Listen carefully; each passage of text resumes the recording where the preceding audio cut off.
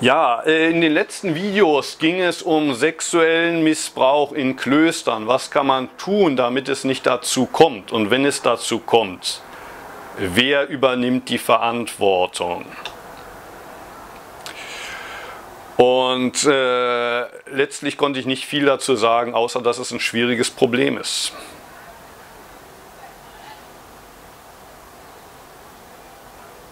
Wir kennen es aus den Kirchen, es ist in Deutschland, glaube ich, vor allem die katholische Kirche, aber äh,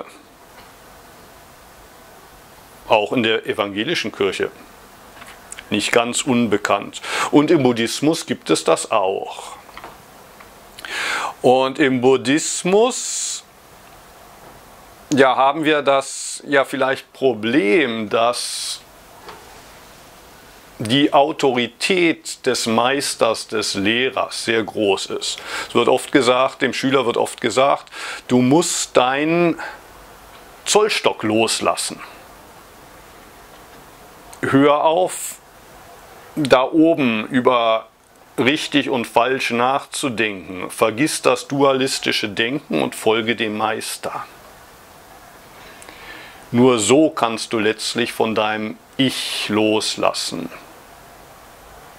Und die Frage ist dann natürlich, was wird aus dem ethischen Subjekt?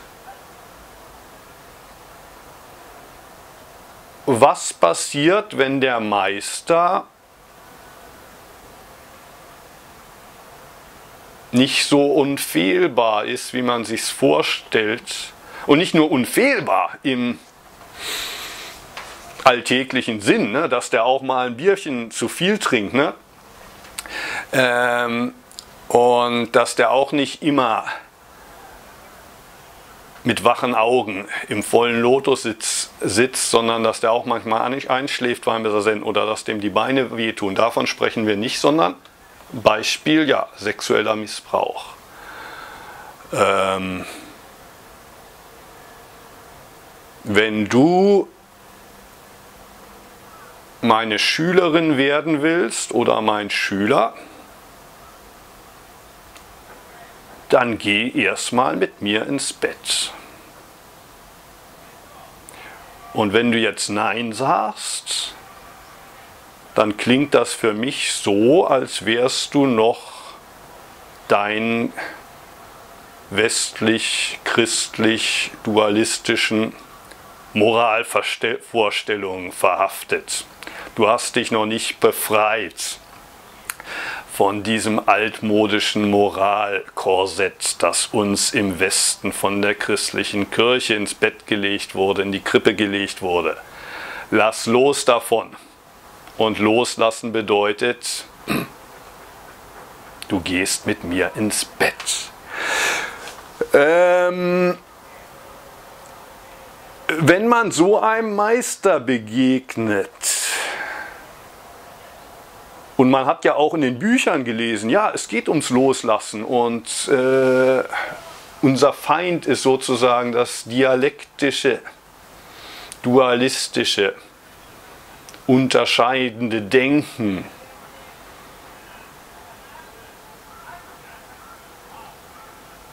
Woher kommt dann die Kraft, Nein zu sagen?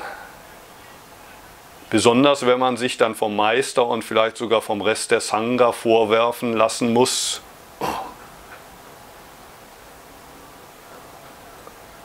du hast ja dein Ego noch nicht losgelassen. Das ist ja das Ego, das da mit seinen Widerständen ankommt.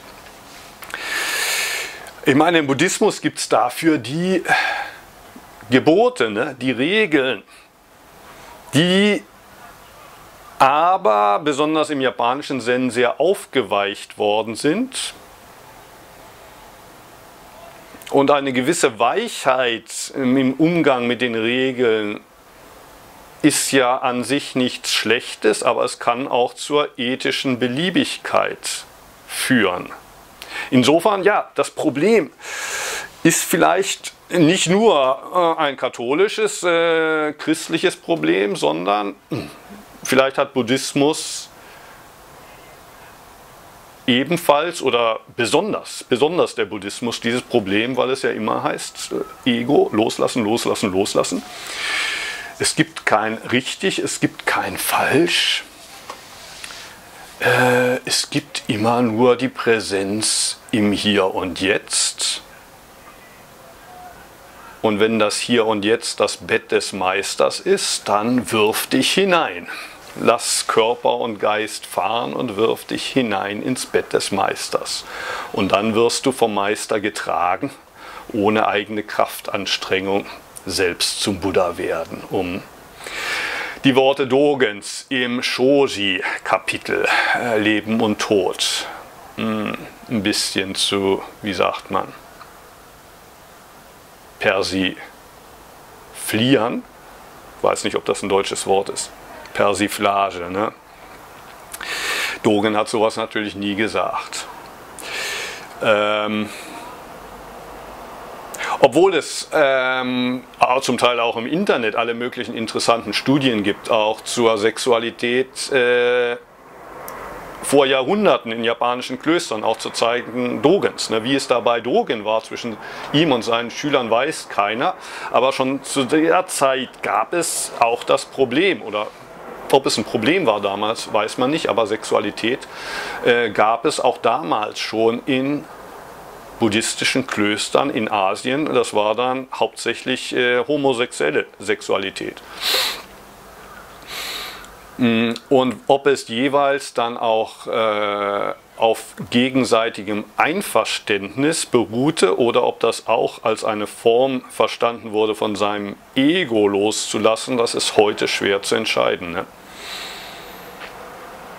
Und ja, äh, von hier wurde dann der Bogen gespannt zum äh, Faschismus. Ähm, Zen und Faschismus. Der Fragesteller spricht von einem teilweise verschwiegenen Thema, von dem die Jüngeren, heute Zen-Begeisterten und Praktizierenden äh, nichts wissen oder nicht mehr hören wollen vielleicht.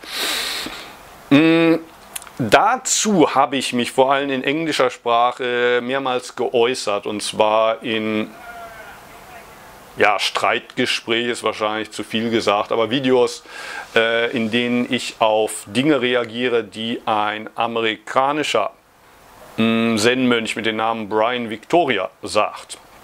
Der hat vor, ich glaube, inzwischen 25 Jahren zunächst in englischer Sprache ein Buch geschrieben, Zen and War, Zen und Krieg. Das gibt es auch in Deutsch, ich glaube genau unter diesem Titel. Äh, wurde auch ins Japanische übersetzt. Ne?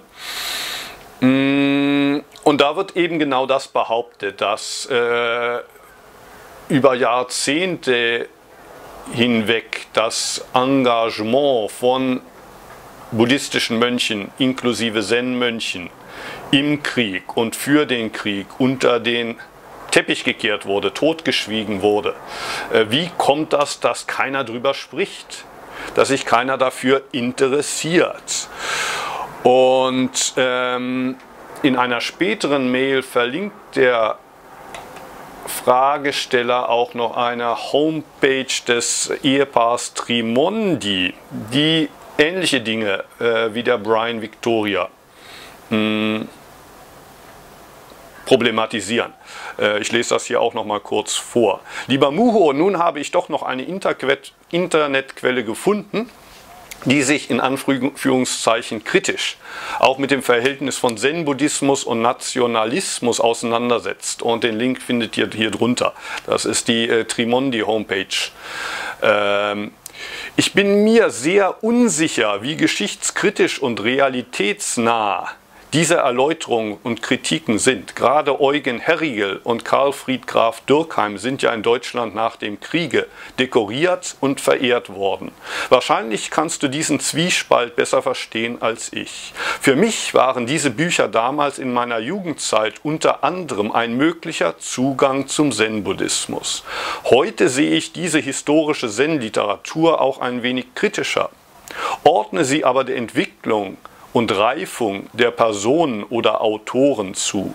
Inwieweit dies der Realität und Authentizität der Autoren entspricht, mag ich nicht beurteilen, da ich sie nicht kennengelernt hatte. Schwierig erscheinen mir diese Lebensgeschichten der Autoren und Wahrnehmungen und Beurteilungen durch andere Personen schon zu sein. Ich denke dabei mehr an deine Worte in den Videos zu den Anfragen zur Suche nach dem in, Anführungszeichen richtigen Meister. Und ich kann es auch verstehen, dass ein Meister sich die Schüler auswählt. Danke für deine Videos zu diesem Thema. Ähm, wie gesagt, ich habe gesagt, es ist ein weiter Bogen vom sexuellen Missbrauch zur äh, faschistischen Vergangenheit und Nationalismus, aber es gibt schon äh, einen Zusammenhang und einer Zusammenhang ist das Loslassen vom Ego, äh, die Verneinung des dualistischen Denkens, wodurch einer ethischen Beliebigkeit die Tür geöffnet wird.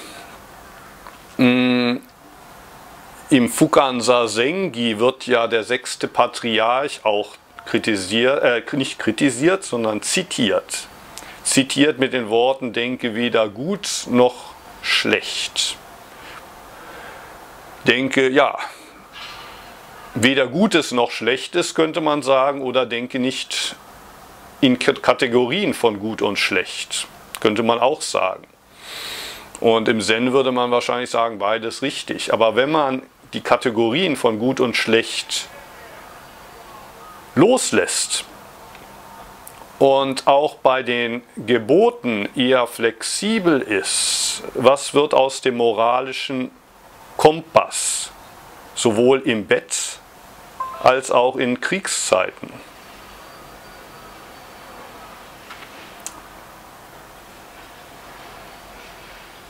Und bei dieser Diskussion, die ja auch ja, wichtig ist, obwohl für mein Gefühl vielleicht nicht ganz so wichtig wie Sexualität,